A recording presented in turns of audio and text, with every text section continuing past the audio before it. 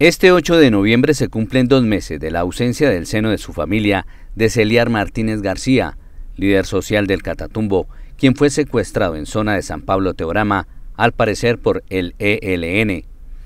En este tiempo no se ha recibido ninguna información sobre su situación y ahora sus allegados están convocando a una misa con el fin de pedir al Todopoderoso el retorno a casa de su familiar. La Eucaristía, a la cual esperan una masiva asistencia de amigos y comunidades, se realizará el próximo viernes a las 3 de la tarde en el Templo del Corregimiento, donde se clamará por la liberación del también defensor de derechos humanos. La familia Martínez está convocando a todo el pueblo para que se sigan solidarizando y se logre tenerlo de vuelta lo más pronto posible.